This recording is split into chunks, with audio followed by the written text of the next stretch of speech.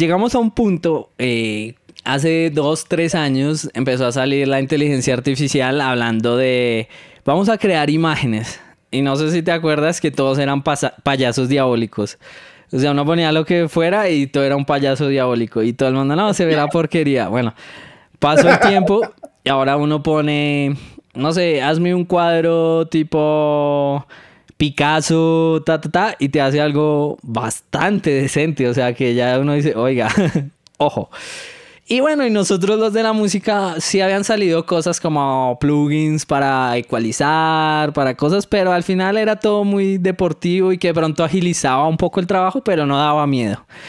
Y las páginas de mastering siempre han sido muy inferiores a un, a un ingeniero, entonces uno como que, ah, bueno, sí, ahí están, solo los que no quieren pagar, pues las usaban. Y llegó una página y empezó a crear canciones y después llegó otra que se llama Suno, que es gratuita y que tiene una calidad que ya, ojo, ojo, ya son canciones, pues ya empieza uno a decir, oiga, ¿será que nos va a pasar lo mismo que le pasó a, a las personas de, de diseño? Y, y entonces ahí donde llega la pregunta, ¿no? ¿Hasta dónde va a llegar esto? ¿Nos afecta? ¿Tú qué, ¿Tú qué piensas como de la inteligencia artificial en general? Santi, voy a abrirte con, voy a abrir con una frase ah, que, es un, poco agresiva, si lo miras desde cierto punto. Pero a mí no me preocupa mucho la evolución de la inteligencia artificial, ¿sabes? A mí me preocupa más la involución de la inteligencia natural, esa que es nuestra. Eso real, ahí es donde está el, lo que más me preocupa a mí. Que la inteligencia se desarrolle como quiera desarrollarse, yo no tengo lío. Eh, yo también tuve ese mismo impacto cuando vi eh, la página de Suno, cuando entré y los, mis, mis eh, estudiantes me, me la hicieron ver y todo esto, y me asusté, alcancé a asustarme un poco.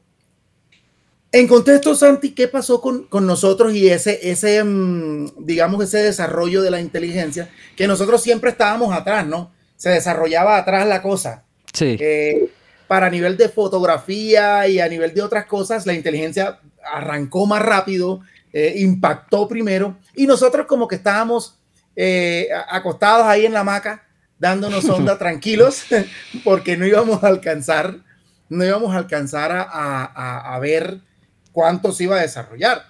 Pero es que históricamente, Santi, si te das cuenta, la inteligencia viene alcanzándonos desde hace rato. Lo que pasa es que siempre se demoró un, poquito. Ahora, el factor humano nunca ha desaparecido. ¿sí? Por ejemplo, ¿te acuerdas cuando... Ah, no, lo, no sé si lo tengo aquí. Déjame ver. Estás buscando. ¿Te acuerdas cuando estas vainas Ah, sí. Sí, sí, sí. ¿Te acuerdas cuando estas vainas eran el tope del tope y, uno decía, nah, es que los pedales analógicos son lo mejor, eso, eh, yo no voy a comprarme una pedalera digital jamás en la vida, eh, esta vaina no suena igual, eh, todas las excusas, ¿no? Sí. empezaron a desarrollarse, empezaron a desarrollarse las tecnologías de manera tal que hoy vemos que un plugin hace lo mismo, igual mm, o mejor tal vez que un, electrodoméstico de estos. Sí. Sí. Eso es una especie de inteligencia artificial. O sea, para mí eso me parece que, ya... Sí, pues ya es una evolución tecnológica. Exactamente. Luego vinieron, eh, por ejemplo, mm, eh, el autotune, por ejemplo, el Melodyne. Sí. Eso a mí me parece que es un tipo de inteligencia que no es tan artificial porque me toca, le toca al... Exacto, siempre había el, la mano humana que tenía que hacer algo. Pero viejo, a mí me parece que eso es una inteligencia bastante artificial considerando que yo no canto y tú vienes y me afinas y haces que yo entre en pitch y me pongas el, el flow a cantar. O sea, sí. Por ahí íbamos, por ahí, hasta ahí íbamos y no nos habíamos preocupado, ¿no? Eh, creo que Autotune tiene un modo automático que es lo más artificial que puede ser. Sí, que es lo que... O sea, afina a la nota que se le ocurra, entonces a veces suena bien, a veces suena mal. Exactamente, no era tan inteligente como el oído del, músico que sí escuchaba la tonalidad, las escalas, la relación escala-acorde, en fin. O sea, esas modulaciones que sube de una nota a otra, pero se mantiene. La principal es, por ejemplo, un do y sube un poquito al sostenido y suena bonito. Exactamente. Pero el autotune sí lo mata, y nada lo baja al do y se muere. exactamente, tú le dices do mayor y se fregó. Ya, ya eh, eh, entonces, yo creo que estábamos, em, digamos que estábamos como, como expuestos a, a la inteligencia. Lo que pasa es que ha dado saltos imprescindibles eh, o sea, eh, yo te digo una cosa, mis estudiantes en este momento utilizan mucho, mucho el recurso de la inteligencia artificial con tal de evitarse el proceso. Mm, ese es el problema, yo creo. Nada que hacer. Porque, o sea, lo que tú dices, ahí tenemos dos puntos, dos puntos que me, que me parecieron súper fundamentales. Uno, el de la involución mental nuestra y el de y el de que ya llevamos muchos años conviviendo con la inteligencia artificial, no es algo que salió hace dos años, como no lo hacen creer. Por ejemplo, eh, lo que es Facebook, Instagram, TikTok, todo eso ya utilizan algoritmos de inteligencia artificial hace años, sí.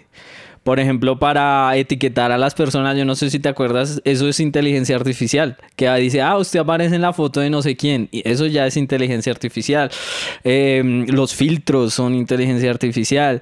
Eh, el, mm, el, contenido que te genera, o sea, dependiendo de tus gustos, eso es inteligencia artificial. Pero como que uno no lo sentía porque pues era una cosa ahí aparte. Pero ya cuando se empiezan a meter con el trabajo de los demás, ya uno dice como, uy, ojo, esa vaina es poderosa. Em, yo por ese lado eh, sí siento que, mm, que hay que entenderla y que sí tiene cosas positivas y cosas negativas, pero que eso ya lo hablaremos ahorita más adelante. Pero lo de la involución de las personas, eh, eso sí lo he notado mucho. Em, por ejemplo, eh, hace un tiempo, pues yo, yo escuchaba como las canciones mm, y siempre uno toma como de referencia a los artistas élite, ¿no? Porque pues el underground es demasiado difícil de uno, porque para saber qué hace cada quien es imposible. Pero uno escucha la música de hace, ni siquiera exageremos, 10 años y uno mira letras por por lo menos se esforzaban un poquito en decir algo. Así, así como Ricardo Arjona, así eran pendejadas que no tenían sentido, pero intentaba decir algo que no había dicho otro. En cambio ahora es como, ah, este dijo eso, yo lo digo, le desordeno las palabras y vamos para adelante. Eh. Y, y, claro, ay, yo, yo sí he sentido como un cambio nomás en, en lo literal, las, las, los instrumentales, incluso en el mismo reggaetón, porque todo el mundo habla mal del reggaetón, pero si tú escuchas un reggaetón del 2010, 2012, el instrumental es mucho más complejo que los que están sonando ahora.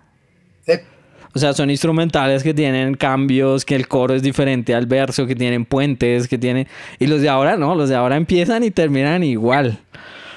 Entonces, claro, ahí uno dice como, oh, si hay una involución, ahí ya es difícil saber a qué tanto se debe. Yo creo que influye mucho, pues, este, mm, como esa comodidad que tenemos, ¿no? De hacer las cosas. Em, yo mismo hace, cuando empecé a mezclar y es, obviamente pues uno va mejorando, aprende trucos y toda esa cosa, pero yo me podía demorar cuatro o cinco días mezclando una canción. Ahora yo puedo hacerla en un día. Y es por todas estas herramientas eh, que antes no existían. O sea, el, el Melodyne no existía. Nadie afinaba. O sea, como quedó, quedó. Eh, si uno quería alinear un audio le tocaba manual. Ya no es como ahora que uno pone una herramienta y se lo hace. Eh, quitar silencios le tocaba uno manual con la tijerita, corte. Eh, o sea, era todo muy manual y ahora es como automático y ahorra mucho tiempo. Pero eso, claro, nosotros como venimos de atrás, de decir como, bueno, yo yo aprendí lo, duro y ahora estoy en lo fácil y pues ahorro tiempo, entiendo la lógica, puedo sacarle más provecho. Pero las nuevas generaciones no, no saben lo que es cortar los, los respiros de alguien. Si no meten el plugin y chao. Sí. Y claro, los hace más um, como más capados de conocimiento porque no entienden como la lógica que hay detrás de eso. Sí. Y creo que eso, eso podría ser una razón de, de, tener tantas facilidades que al final como que nos limita mucho el conocimiento. Aún así yo he conocido gente joven que tiene un, que hacen unas cosas que uno, y más tú que eres profesor, te debes haber dado cuenta que hay chinos que son, pues sí, es uno entre 100, pero es, hay uno, ¿entiendes? Que te, que te vuela. La... Santi, o sea, yo no conozco muchas cosas de las, que, de las que hoy en día están sucediendo.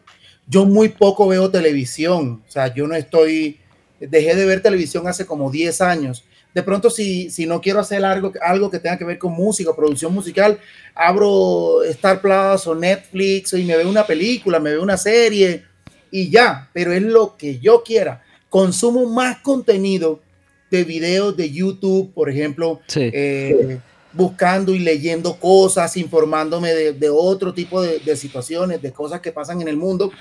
Pero es que mis alumnos son los que me traen a las puertas del infierno y quieren empujarme para que yo caiga.